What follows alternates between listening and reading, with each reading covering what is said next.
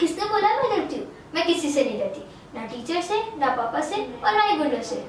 हाँ बस अपने भैया के साथ रात को पानी पीने जाती हूँ। वो ना, मैं डरती वरती नहीं हूँ। पर मैंने सुना है कि रात को ना पीपल के पेड़ के नीचे चुड़ैल आती है और वो तेरह साल के बच्चे को गायब कर देती है। ऐसा ना, मेरी पड़ोस वाली आंटी, वो भी सफ़ेद साड़ी पहनने वाली आंटी बोलती है और वो कभी झूठ नहीं बोलती। मैं कहीं भी रात को बाहर नहीं जाती। बस यही बात है छोटी